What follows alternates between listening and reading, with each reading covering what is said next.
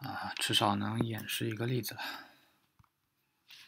创建一个 group，然后改名，嗯，demo thinking，demo thinking，它是个一步的，然后，嗯，要创建一个任务，嗯，需要 record，呃 video playing。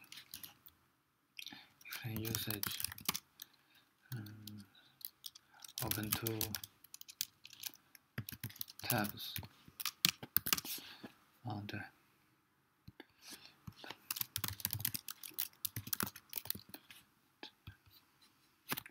对现在是创建了一个嗯、呃、group 然后里面有三个任务嗯、呃、那我也可以把这个任务完成，它已经完成了。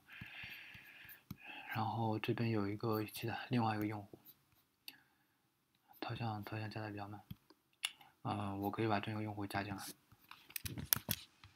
选项没做好，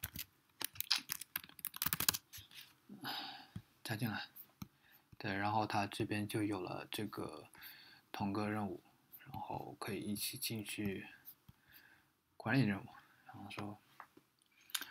Demo on the task thinking，呀，这边也有了。嗯，现在当是直接同步的，嗯，好像做成单个用户会更好一点，但现在是同步的，现在是同步的。嗯，explain usage 啊，explain 这个要写大写。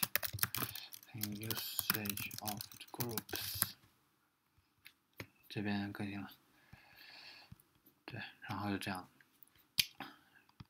那然后前面之前看过的权限系统，就因为两边是不一样的，两边是不一样的。那可以把这个权限交给交给他，就换换到这边来了，就换到这边来了。嗯。嗯，对，除了这个还有什么？好像好像好像也就这个功能了，也就不用这个了。那这现在我基本上已经完成了这个事情，然后把这个嗯 group 转交吧，把这个 group 转交给他。其实已经在里面了，就是把嗯这个用户给。移除，OK，那现在这个 group 就只有就一个人了，OK，那这就基本的 demo。